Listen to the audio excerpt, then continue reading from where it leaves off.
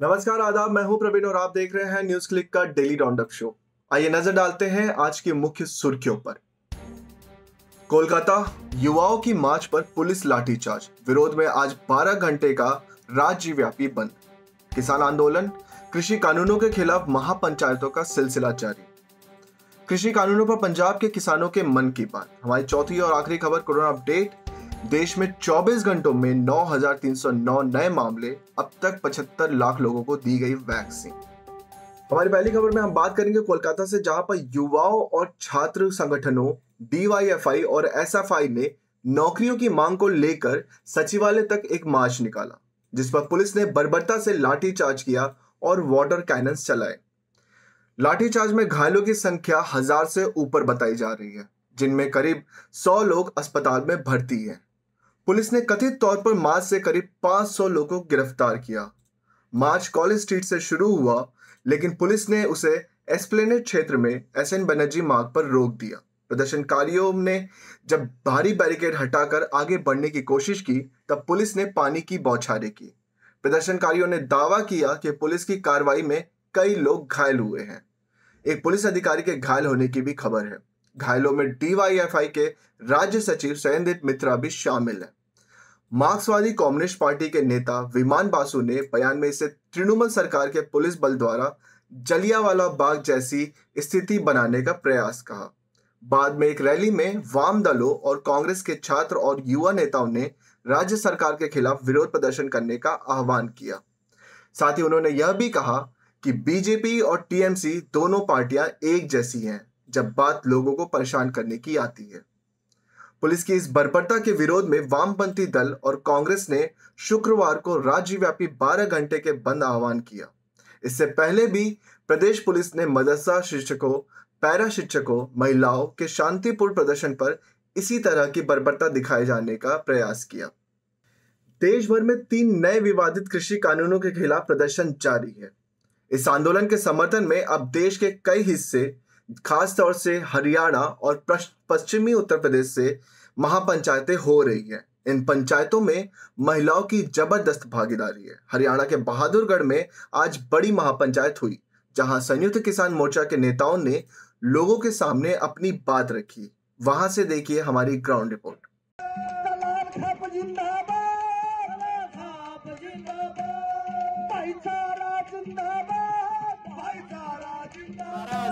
लगातार बढ़ रहा है और पहली बार है कि पार्लियामेंट पर देश के किसान प्रधानमंत्री नरेंद्र मोदी जी को ये बोलना पड़ा कि इतनी जगहों पर टोल प्लाजा बंद है, इतनी जगह पर जो मोबाइल के टावर के कनेक्शन काटे जा रहे हैं तो आंदोलन का जो है वो गूंज तो सड़क से लेकर संसद तक फैली हुई है। नमस्कार साथियों, मैं हूँ मुकुंद और अभी मौजूद हैं बहादुरगढ़ किसान मजदूर महापंचायत में इस, ये पंचायत कोई पहली पंचायत नहीं, इससे पहले कई तरह की पंचायत इसी तरह की पंचायतें, वेस्ट उत्तर प्रदेश हरियाणा और पंजाब, राजस्थान और इस तरह की एक पंचायत कल बिहार में भी हुई है। इन पंचायतों के माध्यम से किसान आंदोलन, अपने आंदोलन को और मज़बूत करने की कोशिश कर रहे हैं। इसमें लगातार हज़ारों की संख्या में भीड़ आ रही है और इस इस आंदोलन पंचायत में शामिल लोगों और संयुक्त मोर्चा किसान नेताओं से समझने की कोशिश करेंगे। उसके आगे के आंदोलन की रणनीति क्या है? और इन पंचायतों का किसान आंदोलन में क्या प्रभाव पड़ रहा है और कितनी मजबूती को प्रदान करने में कर पा रहा है उसकी क्या भूमिका है?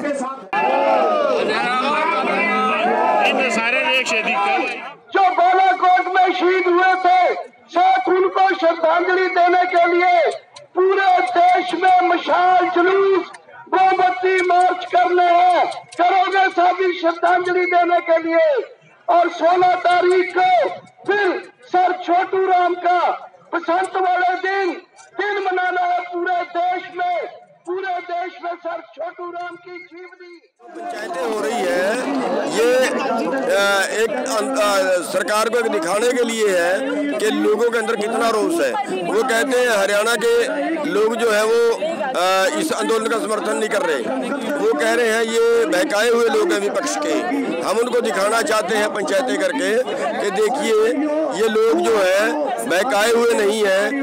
ये अपने आप मर्ज़ी से आए हुए हैं, सारे वॉलंटियर हैं। हमारी माताएँ बहनें भी पंचायतों में आ रही हैं, रैलियों में आ रही हैं। तो ये लोकतंत्र का यही तरीका होता है अपनी बात को प्रदर्शन करने का। ये चलता रहेगा। कठ बढ़ते जाएँगे। महिलाएँ आ रही हैं, नौजवान आ रहे हैं। सारे लोग छोटे छोटे दुकानदार जो कानूनों से प्रभावित हैं, वो सारे लोग इस कट्ठों में आएँगे, क्योंकि सारे ये आंदोलन कौम का नहीं कौमांतरी बन गया है। सारे देश के लोग उठ गए, सारे कीर्ति लोग मैदान में आ गए, क्योंकि इस कानून से पीडीएस का भी खत्म होगा, सरकारी खरीद भी खत्म होगी, सरकारी मार्केट भी खत्म होगी एमएसपी का भी कोई अर्थ नहीं रहेगा। ये लोगों के समझ में आ गई बात। ये रोटी का सवाल है। इसलिए ये कानून रद्द करने के बगैर ये आंदोलन खत्म नहीं होगा। सरकार ने ये भी कहा है जो आंदोलन अगर किसानों को समझ जाता लेकिन इसमें कुछ आंदोलन जीवी घुस गए जो आंदोलन को चलाने को हमें गर्व है उन आंदोलन जीवियों पर जिन्होंने देश को आज़ाद कराया जिन्होंने हर जुल्म के विरुद्ध लड़ाई लड़ी जो आज भी आर्थिक आज़ादी की लड़ाई लड़ रहे हैं देश को बचाने की लड़ाई लड़ रहे हैं। हमें गर्व है ऐसे आंदोलन जीवी होने पर। हरियाणा में हुई महापंचायतें न सिर्फ़ किसान, बल्कि अन्य आर्थिक वर्गों के लोग भी शामिल हो रहे हैं।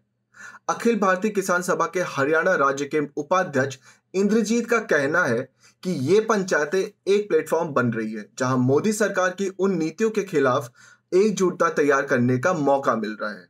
जिन नीतियों की वजह से देश में कृषि संकट जैसे गहराता जा रहा है।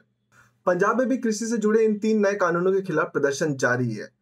इसके बावजूद सरकार की तरफ़ से संसद में इन कानूनों के समर्थन में बयान दिए जा रहे हैं। आइए सुनते हैं इन विवादित कानूनों पर पंजाब के किसानों के मन की बात। किसानी आंदोलन जो भी दिल्ली में चल रहा है, ये सरकार की नलायकियाँ हैं। सरकार को किसी भी प्रति कानून पास करना हो, किसानों के प्रति जो किसानों का फ़ायदा करने चाहते थे, उसके कानून के बारे में किसानों को तो पता होना चाहिए कि हमारे लिए ये कानून पास हो रहा है।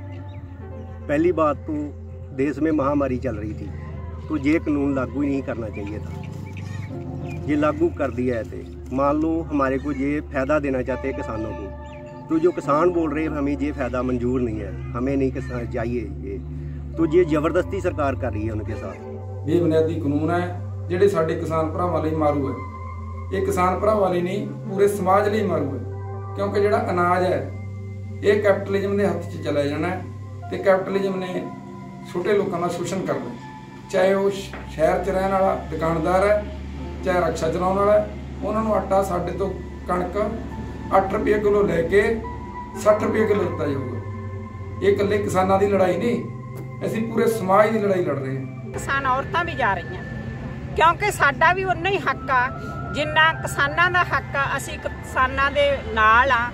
ਕਿਸਾਨਾਂ ਦੀਆਂ ਔਰਤਾਂ ਅਸੀਂ ਇਹਨਾਂ ਦੇ ਨਾਲ ਮੋਢੇ ਦੇ ਮੋਢਾ ਜੋੜ ਕੇ ਅਸੀਂ ਜਾਵਾਂਗੇ ਹਰ ਹੀਲੇ ਜਾਵਾਂਗੇ ਕਿੰਨਾ ਸਰਕਾਰ ਸਾਡੇ ਤੇ ਰੋਕਾਂ ਲਾ ਦੇ ਅਸੀਂ ਉੱਥੇ ਸੰਘਰਸ਼ਾਂ 'ਚ ਹਰ ਹੀਲੇ ਪੁੱਜਾਂਗੇ ਸਾਨੂੰ 3 ਮਹੀਨੇ ਹੋ ਗਏ ਇੱਥੇ ਬੈਠਿਆਂ ਨੂੰ ਸਾਡਾ ਹਲੇ ਉਹਨਾਂ ਨੇ ਕੋਈ ਹੱਲ ਨਹੀਂ ਕੀਤਾ ਇਹਨਾਂ ਨੇ ਤਿੰਨ ਜਿਹੜੇ ਸਾਡੇ ਤੇ ਕਾਨੂੰਨ ਕੀਤੇ ਆ ਨਾ ਇਹਨਾਂ ਨੂੰ ਅਸੀਂ ਰੱਦ ਕਰਵਾਉਣਾ ਸਾਡੇ ਨਾਲ ਬਹੁਤ 420 ਹੁੰਦੀ ਆਈ ਆ ਸਾਡੀਆਂ ਜ਼ਮੀਨਾਂ ਵੀ ਰੋਕ ਲੀਆਂ ਜਿਹੜੀਆਂ ਰਹਿੰਦੀਆਂ ਉਹ ਵੀ ਰੋਕਣ ਨੂੰ ਤਿਆਰ ਆ ਸਾਡੇ ਬੱਚੇ ਸਾਨੂੰ ਕੀ ਆਖਣਗੇ ਅਸੀਂ ਇਸ ਕਰਕੇ ਅਸੀਂ ਭਾਵੇਂ ਇਹ ਸਾਡਾ ਅੰਦੋਲਨ ਕਿੰਨਾ ਚਿਰ ਚੱਲੇ, ਭਾਵੇਂ ਸਾਲ ਚੱਲੇ 2 ਸਾਲ ਚੱਲੇ, ਅਸੀਂ ਹਮੇਸ਼ਾ ਇੱਥੇ ਕਾਇਮ ਰਹਾਂਗੇ। ਕੋਈ ਸ਼ੌਂਕ ਨਹੀਂ ਜੀ ਜੋ ਉੱਥੇ ਜਾਂਦੇ ਆ। ਹਮ ਨੂੰ ਮੋਦੀ ਸਰਕਾਰ ਦੇ ਗਲਤ ਰਵਈਏ ਕਾਰਨ ਉੱਥੇ ਜਾਣਾ ਪੈ ਰਿਹਾ ਜੀ, ਜੋ ਕਿ ਕਿਸਾਨ ਦੀ ਜਮਾਂ ਲੁੱਟ ਹੋ ਰਹੀ ਹੈ ਜੀ ਇਹਦੇ 'ਚ। ਇਸ ਕਰਕੇ ਸਾਨੂੰ ਵਾਰ-ਵਾਰ ਜਾਂਦੇ ਅਸੀਂ ਹਰ ਰੋਜ਼ ਟਰੈਕਟਰ ਲੈ ਕੇ ਜਾਂਦੇ ਆ ਜੀ, ਬੰਦੇ ਵੀ ਜਾਂਦੇ ਆ ਅੱਡੋ ਅੱਡ ਬਣਾ ਕੇ ਗਰੁੱਪ ਜੀ, ਹੁਣ ਵੀ ਉੱਥੇ ਸਾਡੇ 15 ਬੰਦੇ ਬੈਠੇ ਆ ਜੀ। ਸਾਡੇ ਨਾਲ ਇਹਨਾਂ ਨੇ ਕੋਈ ਚੰਗਾ ਕੰਮ ਨਹੀਂ ਕੀਤਾ, ਆਪਦੇ ਹੱਥੀ ਵੋਟਾਂ ਦੇ ਕੇ, ਆਪਦੇ ਹੱਥੀ ਅਸੀਂ ਆਪਦੇ ਪ੍ਰਧਾਨ ਮੰਤਰੀ ਬਣਾ ਕੇ, ਇਹ ਜੋ ਕੋਈ ਰਾਜਾ ਹੁੰਦਾ, ਆਪਦੀ ਪਰਜਾ ਨੂੰ ਇੰਨਾ ਦੁਖੀ ਨਹੀਂ ਕਰਦਾ, ਉਹਨਾਂ ਦੀਆਂ ਦੁਖੀਆਂ ਨੇ ਦੁਖੀਆਂ ਗੱਲਾਂ ਕਿਸਾਨਾਂ ਦੀਆਂ ਸੁਣੀਆਂ ਜਾਂਦੀਆਂ ਆਪ ਹੀ ਤਾਈਓ ਆਪਾਂ ਇਹ ਜਨਤਾ ਬਣਾਉਨੇ ਆ ਪਰ ਇਹਨਾਂ ਨੇ ਸਾਡੇ ਨਾਲ ਇਹ ਕੋਈ ਵੀ ਫੈਸਲਾ ਨਹੀਂ ਰੱਖਿਆ ਇਹਨਾਂ ਨੇ ਸਾਥੋਂ ਪਾਸੇ ਪਾਸੇ ਇਹ ਜਿਹੜੇ ਕਾਨੂੰਨ ਬਾਰੇ ਬਾਹਰ ਬਣਾਤੇ जब तक ये रद्द नहीं होंगे तब तक हम बैठेंगे यहाँ पे चाहे वो 2024 तक जब तक कि मोदी की सरकार खत्म नहीं हुई तब तक भी बैठना पड़े तब तक भी बैठेंगे क्योंकि हमारे लिए ज़रूरी है हमारे खाने के लिए जो अनाज आता है वो हमारे खेत से आता है जब वो हमारा खेत ही छीन लेंगे तो हम क्या करेंगे केंद्रीय स्वास्थ्य मंत्रालय द्वारा आज शुक्रवार यानी 12 फरवरी को जारी आंकड़ों के अनुसार देश में पिछले 24 घंटों में कोरोना के 9,309 नए मामले सामने आए हैं। इसके अलावा कोरोना से सतासी मरीजों की मौत हुई है। साथ ही इसी बीच देश में कोरोना से पीड़ित पंद्रह मरीजों को ठीक किया गया है और कुल एक्टिव मामलों में छह हज़ार छह सौ छत्तीस मामले कम हुए हैं। देश में कुल मामलों की संख्या बढ़कर एक करोड़ आठ लाख अस्सी हज़ार छह सौ तीन हो गई है। जिनमें संक्रमण के कारण एक लाख पचपन हज़ार चार सौ सैतालीस मरीजों की मौत हो चुकी है। देश में कोरोना से पीड़ित संतानवे दशमलव तीन दो फ़ीसदी यानी एक करोड़ पाँच लाख नवासी हज़ार दो सौ तीस मरीजों को ठीक किया जा चुका है और कुल एक्टिव मामलों की संख्या घटकर एक दशमलव दो चार फ़ीसदी यानी एक लाख पैंतीस हज़ार नौ सौ छब्बीस रह गई है। स्वास्थ्य मंत्रालय की ताज़ा जानकारी के अनुसार देश में अब तक पचहत्तर लाख पाँच हज़ार दस लोगों को कोरोना की वैक्सीन दी जा चुकी है। जिनमें से चार लाख सतासी हज़ार आठ सौ छियानवे लोगों को वैक्सीन पिछले 24 घंटों में दी गई है। आईसीएमआर द्वारा जारी आंकड़ों के अनुसार कोरोना के 20 करोड़ सैतालीस लाख नवासी हज़ार सात सौ चौरासी सैंपलों की जाँच की गई है, जिनमें से सात लाख पैंसठ हज़ार नौ सौ चौवालीस सैंपलों की जाँच पिछले 24 घंटों में हुई है। आज के डेली राउंड में बस इतना ही। न्यूज़ क्लिक के यूट्यूब चैनल को सब्सक्राइब करें। साथ ही देश और दुनिया की अन्य खबरों के लिए हमारी हिंदी और इंग्लिश वेबसाइट भी ज़रूर देखें। फेसबुक इंस्टाग्राम ट्विटर पे हमें फॉलो करें। न्यूज़ क्लिक देखने के लिए शुक्रिया।